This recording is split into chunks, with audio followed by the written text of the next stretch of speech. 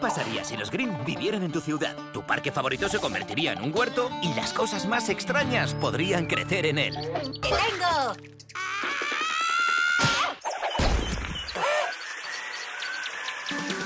Sembrando el caos en la ciudad. Los Green en la gran ciudad y en Disney Channel.